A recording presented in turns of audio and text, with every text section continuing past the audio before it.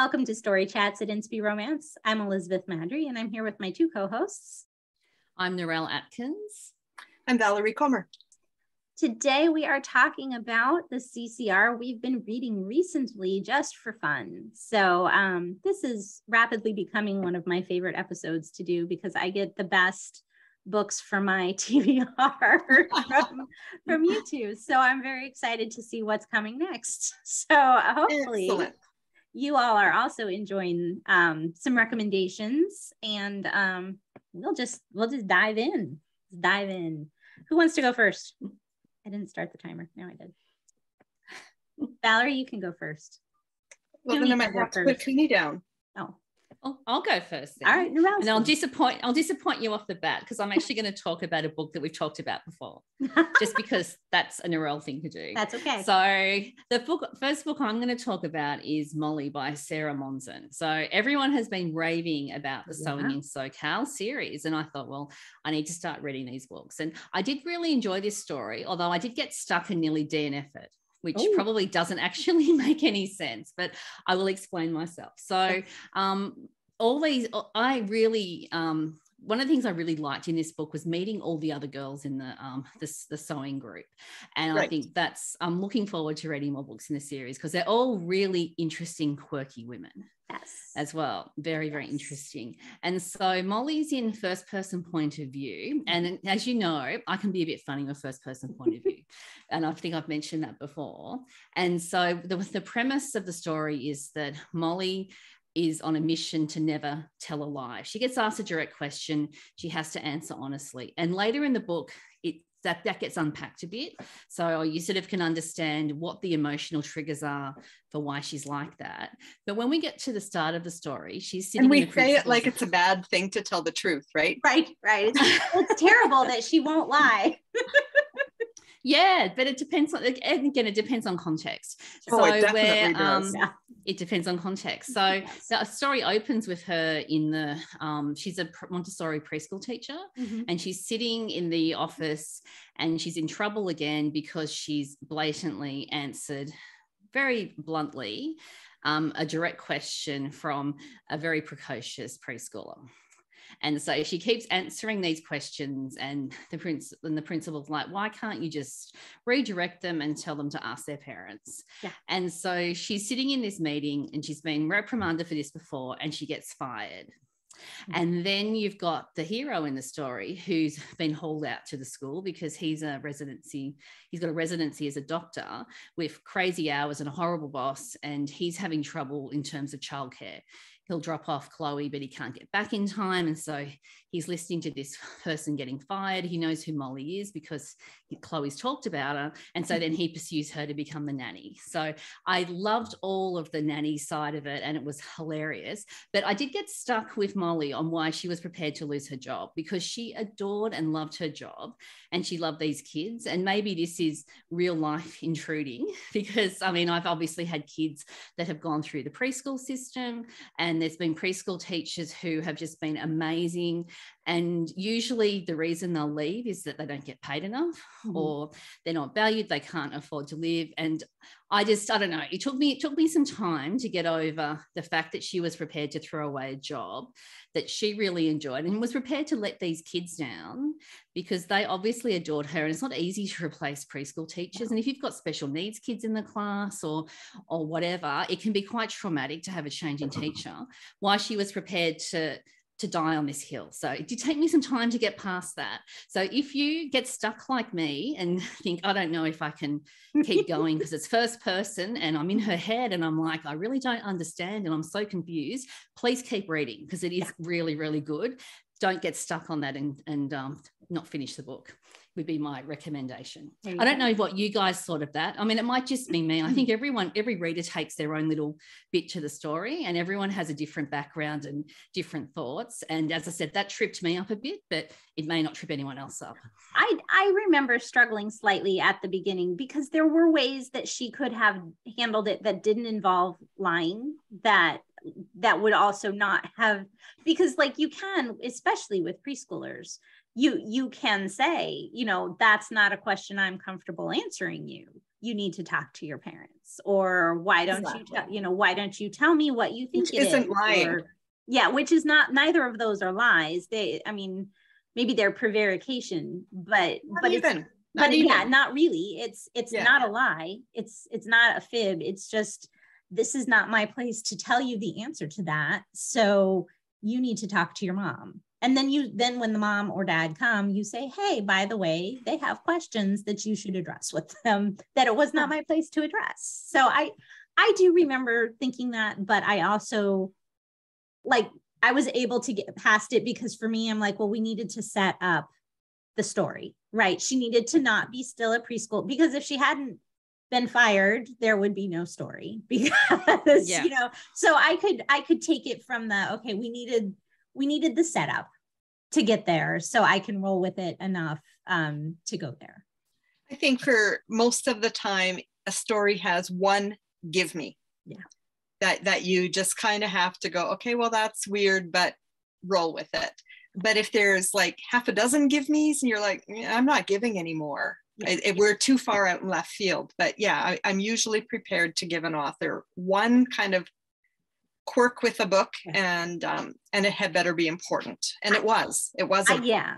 I can go like three or four honestly because i'm a pretty yeah. forgiving reader. It used to drive um i used to do some pre-reading for a small press and i'd like tell the editor this is fantastic and then she'd read it and she's like how did you get past this this this? I'm like well but but past that. These are she's like you're terrible at this job. Don't you can't do this anymore. You're terrible because I'm I am a forgiving I'm a forgiving reader. Um so but yeah so Valerie you get one with me you're gonna get four or well, five. I might but... get depends on how big the first one is right. Sure, but, fair that's fair. Every yeah, story is gonna have at least one yes. place where you're like eh, okay I'll I'll go with it. I'll go I'll with this it. one. Yeah, we'll I'll, I'll allow it but I also like if it's a personal trigger, like that's a personal trigger for you, Narelle, because you had yeah. kids with preschools and that sort of thing. So I get that. Like for me, it tends to be like adoption, if there are adoption issues or um like those for me are much harder to yeah. be the gimme. Um, yeah. so that's like then maybe you get one because like, okay, if I'm gonna swallow this, nothing else better be big. and so you you just told me what the trigger was, which yeah. I did not actually consciously work out. Is that having had a special needs son, mm-hmm. if one of his teachers had have done that, I would have yelled just I would have been so yeah. cranky. I would have been, as a parent, absolutely furious because my son had so much trouble mm-hmm. integrating, and it was just such. It was just such a battle to actually do a whole lot of stuff because he's autistic yeah. and had massive anxiety issues, and he still lives with that today, even though he's a young adult. Um, so I think it's that parent trigger. It's like mm-hmm.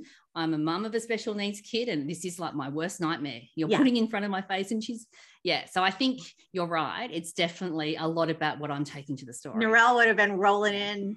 You call her back and hire her back right now. For sure, or else she'd have been hiring her as a right. private nanny. oh my Fair, but like we all bring yeah. we all bring our stuff and it's good that you yeah. realize that it's worth like i'm glad i'm glad you persevered because it is a cute cute story. And the yes. whole series is super cute. And a good series yeah. Yeah. Yeah. Yeah. All right valerie what do you got? I have got a jennifer rodewald story always you.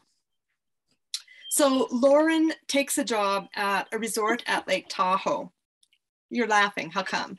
Can is you hear my fire alarm Oh, can now. the, the boys burned their dinner, oh, apparently. Oh, good. or it could just Sorry. be going off because there's bugs or something. I mean, that's what I assumed. You get bugs in the fire alarm, it sets it off. Yeah. But let's Sorry. Anyway, in Always You by Jennifer Rodewald, Lauren takes a job at a resort at Lake Tahoe to escape her father and her sister whom she loves, but they're both in politics and she's an event planner and they just count on her all the time because she can work magic for them even if it's like overnight and they they just think that she exists to be at their beck and call and she's tired of it. So she up and takes a job most of the way across the country because I think she starts out in I don't know Maine or something, New Hampshire, somewhere up there. I still can't keep them apart. I didn't think to Over remember, even though even though we did that episode. Anyways, um, she's airsick on the cross country flight, and she just barely manages to hold things together as she gets off the plane and she runs to the women's washroom and it's closed. So she's like, uh, men's, and she runs in and there's a guy standing in front of her and she barfs all over him. So this Oh, is this is a meet cute for the ages. Yeah. Um, anyway, that's like chapter one. So I'm, that's not a that is not a spoiler. No. Um, Matt, believe it or not, takes that in stride. Hmm. I that's the give me in this story. Yeah. Yeah. Okay. It's like, really? Woman barfs all over you, and you're like, and you're wearing a tux. And he's like, eh, didn't like this tux anyway. Um, he Is has he a billionaire? Is he a billionaire? So he's got a whole stack of tuxes and it doesn't matter. No, no, actually, he throws it in the garbage. Um, he had left the upcoming wedding of his on again, off again girlfriend to his best friend. Ooh. He just couldn't handle it. So he had decided to run. Okay. And so he was in the bathroom. He was going to change. Now he is, now he has changed. And because he just, he can't go to the wedding. He just can't do it. He thought he could, but he can't. Okay. So there's a snowstorm and she's supposed to be going up to Lake Tahoe. Now, the nearest airport to that is Reno, Nevada. And I have flown into this and I have driven to Lake Tahoe. So uh, I'm like, he, she never mentions what airport it is, but Lake Tahoe is mentioned by name. And I know that it's the Reno airport. So Mhm. Um, here is where I had a problem with the story. Oh no. Sorry, Jennifer. Um, but to me, sense of place is really, really important. And if you, you can't mess with it. You just can't mess with it. So I have been to Tahoe a couple of times, and the idea, okay, there's a blizzard, so the highways are closed. Mhm. So the idea that there are back roads that this guy could take in a jeep to get from Reno Airport to Lake Tahoe when the highways are closed to me is like th- th- there are no back roads like that. No. If the high if the interstate is closed, those back roads Everything are is impossible. Oh, worse. Yeah. yeah Everything they'd be worse, closed. wouldn't they? Yeah. They Yeah. would be worse. Yeah. Yeah. So I mean that was the give me that I had to allow her. Um, so in, in fact, sadly, the entire sense of place was missing. Hmm. It's mentioned Lake Tahoe a couple of times, but it could take place at any resort. It didn't even need a lake. There was no no scenes on Tahoe. Whenever they would go somewhere, it was like to a place a couple of hours north or a couple of hours. No place names, and that drove me crazy. Sorry, Jennifer. However, I enjoyed the story. I, I really did. Uh, Matt has some serious issues with that ex girlfriend who turns out that because he bolted the wedding, the wedding was called off. And she's trying to get back with Matt. And Matt's best friend, who is supposed to get married that day, is like livid with both of them. Everybody's angry at each other. So there's some serious baggage there. And he's not actually ready to fall in love with Lauren like right this second, right? So there, there are some big, big things going on in this story, and I enjoyed it. Um, they, the the way that uh, Jennifer takes us through the process and stuff, um, I I did really enjoy. And um, snowshoeing in the mountains and so forth is always something I love. So that part of sense of place. I mean, yes, in December at Tahoe there is snow. So I mean that part worked for me. How they worked through stuff um, really, it, it did work for me as a story once I got over the fact that my sense of place was completely shot. Sure. So I have a question. So what if she hadn't have named it as Lake Tahoe and had have just said gone from the airport to a lake and it was fictional, would that have fixed your problem? No. It might have partly because I wouldn't have had specific expectations Mhm. of that. But to me, I guess sense of place is really, really important. So I get creating a fictional town. I've done it a few times myself, probably will again. Um, but it still needs to be anchored somewhere and be realistic to that place. So when you've got a place like Reno that's got the airport for Tahoe, then go ahead and name it. It's okay. Like she landed in the Reno airport. Deal. Uh, and then yeah, the, the town that's like two hours away and they go through this valley and and the view is fantastic. And I'm like, where is it? I have been in that part of California. Where is it? I want to know which valley you're seeing. So uh, if it's just all generic and could happen anywhere, like literally anywhere in the world, no, that doesn't, it's maybe not as obvious to me, but it's still, I need, I need it. And this is my quirk, possibly. I may not share it with any of you, but um, but I I really and I've noticed that more and more as we've in the last few months done these um, location um, episodes where we pick a state and dig into it. I'm like, but this story could have taken place anywhere. Where's one that actually focuses on this area and helps me to get to know what it would be like to live there? Anyways, off my soapbox. Beth, what was your first book? so, um, because they are romantic suspense, I am combining them. Um, and well, that I makes finished, sense. Yeah, I finished up the um, Janice Cantore series that I started for right. our firemen, um, or not firemen, maybe firemen. I don't know. I think fire, the fire, I, actually, episode. I I yeah. think I downloaded them for firemen, but maybe because they're not actually they're about a police officer. Anyway, whatever. Uh, burning burning proof and catching heat by Janice Cantore. They are police procedurals, which I have a deep abiding love of police procedurals, and they are hard to find in Christian fiction. Um, so it is i would call it romantic suspense but really what it is is a police procedural the romance is there so it, it qualifies because there's definitely romance going on. Good. Because um, otherwise, I just have to kick you off the show. I know, I know, but I'm recording, so you can't. So I feel safe.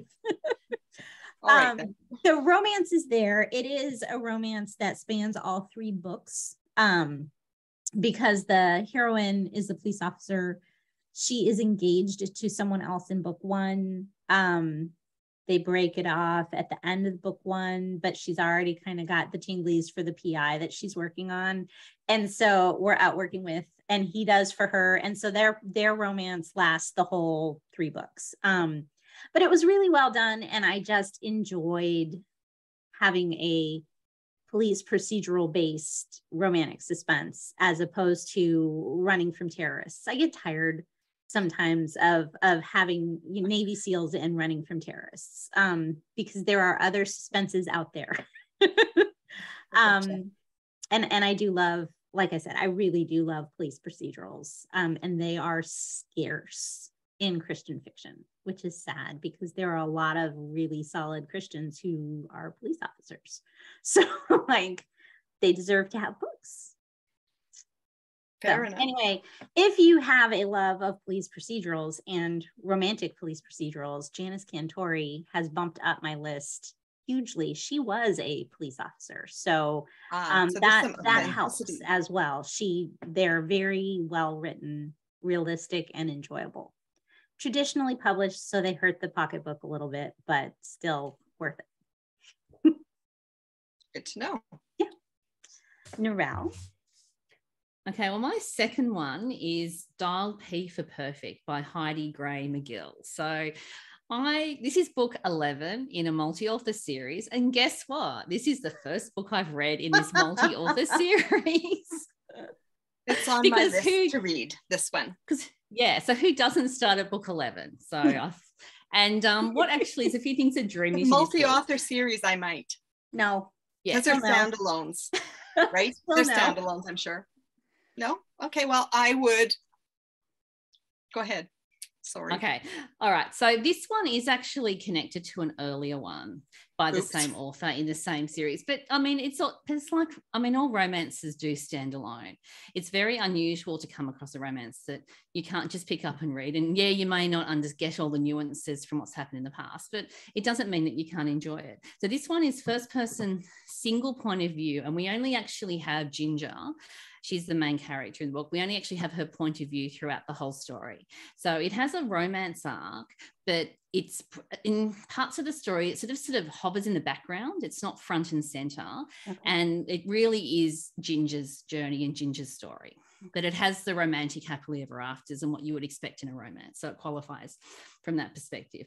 But the reason I picked it up is that it's a body positive story. Hmm. So some and sometimes you'll come across stories where you'll have the heroine who's just borderline neurotic about weight loss and dieting. And I just that just drives me nuts to read. This is not what I want to read as a reader. And what I really liked about Ginger is that she was she had a strong faith. There was a lot of Christian content um, in the book, and if you really like having a lot of faith content and a book that's more focused on that, then you'd love this one. And it really was her was was her looking at um, how does God value me? How does God see me? Um, and she just had the most lovely sense of humor and could laugh at herself. And it's not labeled a rom com, but honestly, I think it was funnier than a, a number of books I've read that are labeled rom coms as well. Good so, know.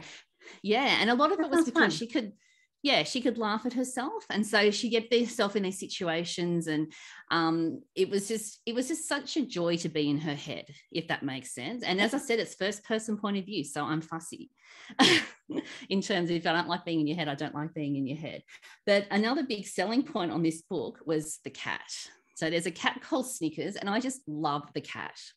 I mean, I would read the book just for the cat. And so we have Jenny, one of our um, readers who comments in on YouTube, if you know who Jenny is. Mm-hmm. And I started reading this book and I messaged Jenny. I said, You have to read this book because of the cats. cool. You have to read it. Right, and then so- suddenly I get interrupted by someone in the family, and I'm suddenly at 60%. Before I even know it, I'm at 60%. It just flew along. Is the and cat- is a is the cat sneakers like like tennis shoes or Snickers like Snickers. the candy bar? The candy bar. Snickers like the candy bar. Okay.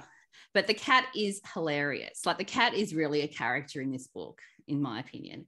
Yeah. So it was just, um, it was just a lovely story. And as I said, very Bible based as well. So if you're looking That's for nice. something that has a bit of meat, that's not just talking about an issue, but actually looks at what the Bible says about stuff, then you'll really enjoy this one too. And I love the the ending of it as well. So it had the romance, as I said, it has the romantic happily ever after. Even if you feel like when you're reading it that it could be a love triangle, but it's not a love triangle. And the romance, as I said, it's it, it's there, but it's not in your face like most books. Okay. It's got a slightly different arc.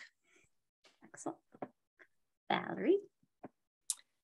My second book is called The Melody of Joy by Leah Busboom. This is the first time I had read a book by Leah Busboom.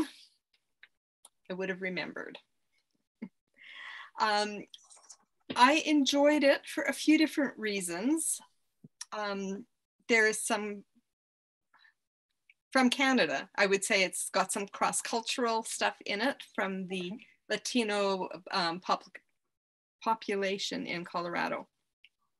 So Juanita is the heroine, and she um, she has just it took her a, a, long time to get a job at this the best place to work in her small town that has like the best paying jobs and the best um, uh, benefits and stuff. So she's just like clinging on to this job and then she's suddenly let go with no warning and it's basically because of a rumor that someone one of her co-worker co-workers started about her so it's not even anything she did oh, um, wrong.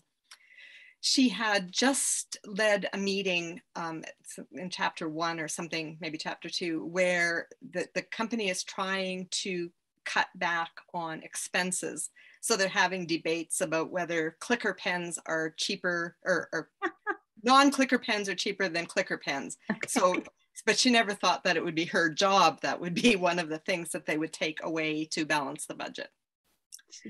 So she had just started getting to know this guy, Brendan, that she works with. He had been part of this clicker, non clicker conversation, and they had both been amused together. So they didn't really know each other that well. But when uh, he's volunteering at their church's um, like soup kitchen, then he sees her come in a few weeks later with her little girl, and he's like, What on earth happened? Like, you know, she was my, I, I knew she was gone, but now she's like so destitute that she can't afford food like wow. what's going on here right so he tries to talk to her and she's of course proud and doesn't want to talk to him and a bit of time goes on and he decides to help her find a job and he does um, which i found interesting that apparently it was as good a paying job with as good a benefits and she's working now in a um, restoration company for vintage cars hmm. and she's answering phones and setting up appointments and stuff so um, she and Brendan also connects with her son Mateo, who is three or four years old. And this kid is like car crazy, truck crazy. It's all he wants to talk about. So Brendan indulges this, this little boy with that. So Juanita is still in mourning for her son's father, um, whom she was not married to, who died in Afghanistan. Brendan is struggling with the fact that the woman he was preparing to propose to left him because she got a better job offer in San Francisco and didn't think that what they had was that serious, anyways. And why would he think he, she would give up anything to stay here with him? So they both have some some issues uh, to work through. And um, so he's wondering if he's misreading Juanita as well, because she's kind of hot and cold as well. And he's like, mm, mm, I don't know if I dare like try to get close to this person as well. So um, this is the first in a series called Paradise Springs, and it's set in Colorado. In some ways, it was kind of predictable.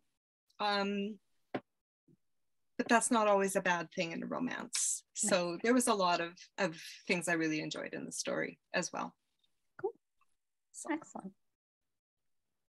My second was To Win a Prince by Toni Shiloh.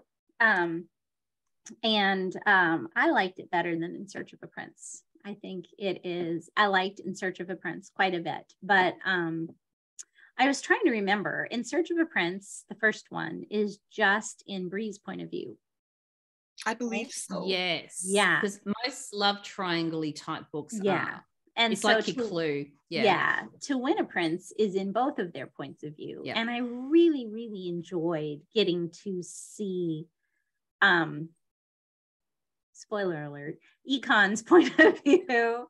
Um especially given all that he goes through as as his character arc in the story if we hadn't had his POV, it would have been terrible. Um, I yeah, just well, he it, yeah, I agree. Yeah, it because he's the star of the book, absolutely. Because Iris doesn't, is. Yeah, Iris doesn't change, and her character, I mean, doesn't have the the the depth and the length of um, development needed to actually get to where they need to go. Whereas Ekon started a million miles behind the start line. Yeah yeah. Iris is is very steady and i like iris yeah. a lot but um but it's ekon who really is the star of the book. He's he's fantastic which is which is saying something when you take someone that you're sort of predisposed to dislike from how the first book ended and turn him into someone that you're really rooting for um at the end. Uh it's very very well done. Um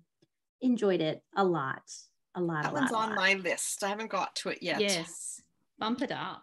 Yeah. And I think what I what I mean, talk we've been talking about that sort of the give me sort of thing, and the way that ekon is unpacked. You get to the end and you think, wow, that was so well done. I didn't see it coming, and it just makes so much sense. There's no plausibility issues. It's no. all completely logical and which is what I think makes a really good story is that you don't have any of those sort of gaps of mm-hmm. um, am I you don't sort of pause and think about stuff you sort of just roll through it yeah so was it very i think i would like i'd say i'd probably be the same the second one was probably um, better yeah. than the well, first one but the first one wasn't bad the, no the first one was delightful yeah. but this one yeah. was just even better so um yeah. which i love i'm sad that it's only a duology because i love when series get better with each book um but now the series is over because there's just two although I think Toni said in the CRRG when she was in there a few weeks back that um, she might set other books or another series on cool her island. Permission to. Yeah. I think the big give me with that series is that there is, in fact, an island off the coast of Africa sure. where there is a, a king and a queen ruling. I think that's that's the biggest give me for sure. that series. So we've My, already swallowed it in book one. Yeah. I, I That's did not have even to, a give me for me. I don't that I mean because I mean fiction has that fantasy element. So I can go with the fantasy element in setting and stuff like that, as long as we're not setting a small town in Antarctica. You know what I mean? Like Yeah, as long as yeah. it's got some kind of plausibility, But, but I I'm happy to suspend to disbelief. do that. I You- wanted you- to put one in the Antarctic desert. Valerie's switching to writing science fiction set in Yes. the future. of a very climate changed earth. If Yeah. we're about the desert in Antarctica. Oh my goodness. I There's will say, speculative fiction. uh, yeah, I had a little bit of a gimme on this one. The only tiny little piece was Matt, um, her friend who comes from the States to help with her company. And I did not understand how she was so blind when it came to him. Um, but it's a very small part that he plays, and she does eventually figure it out. So it's it's not like you could pull that whole thread out and the book would still be amazing. So I could give it, I could let go of it. But I, anytime he was on the page, I was like, "Mm, move on. Whereas Okay, that fine, didn't faze me, up. interestingly. Okay. and I think it's be- I think it's because like we we read a book and we're in our head with our with our backgrounds and our experiences, whereas the character. Um, a lot of people are blind to people's faults. We would have a lot less divorces in the world if people actually didn't have dopamine making them dopey when they fell in love. I mean, honestly, I mean that's the truth. I mean, we romance people- author. Yeah. yeah people are very good at um, conning and convincing other people they're wonderful when really they're horrible and terrible and it takes time for um, the cracks to show i mean your narcissist characters for example are, are classic examples of that Yeah. they'll put on this Yeah. beautiful polished charming front and it's not until down the track you realize that you're only seeing what they think you want to see rather than who they really are. So I can run with those types Alright. of things. I just assume those characters are potentially narcissists or Sure. or whatever, or have agendas. yeah. Fair, fair. It's a fantastic book. And if you haven't read it, you really need to, especially if you've read In Search of a Prince. I would say you could Yeah. read it. Um, you could read To Win a Prince on its own. It would be fine.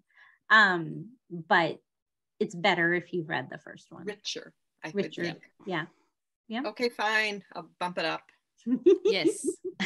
do it do it um that pretty much reaches us to the end of our time so hopefully nobody has does does, does anybody have a third they just have to get in no Nope. Valerie? I'm No? good, okay I think. right I'm good.